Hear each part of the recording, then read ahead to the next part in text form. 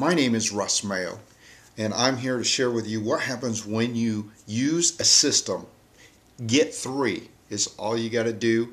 It's free, and then the system takes over.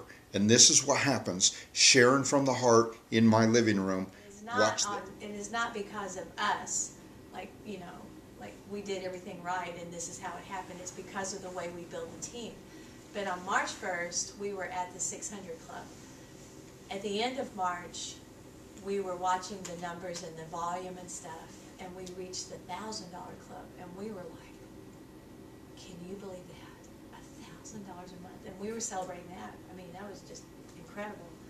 Two days later, at the end of the month, when everything filled in and, and the volume increased, we reached twenty-five hundred.